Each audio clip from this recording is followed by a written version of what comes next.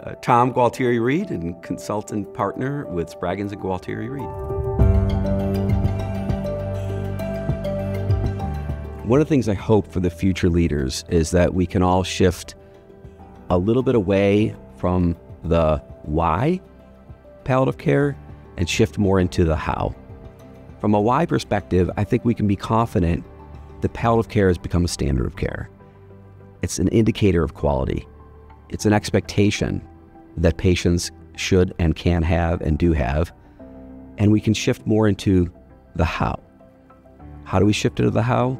Spending more of our energy and time thinking about what are the needs of the patients. Which patients are appropriate for palliative care?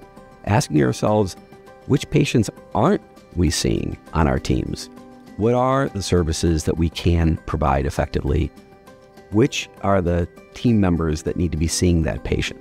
So, more time on the how are we going to design these programs, how are we going to design our teams to make that impact on patients, and just shift and dose a little bit less time on the why. And I think we can feel more confident, built upon the field, built upon the work that CAPC has done, and the resources that have become available for so many programs across the country to shift more into that.